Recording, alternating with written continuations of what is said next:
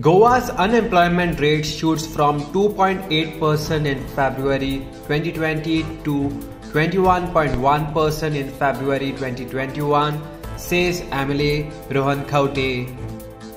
Rohan Khaunte took to social media and said the following.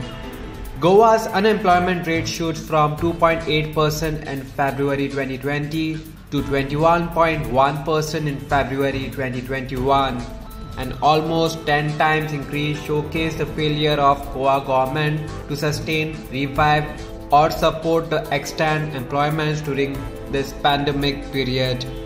Dr. Pramod Sawant grand announcements never materialize into jobs, said MLA Rohan Khaunte on Tuesday.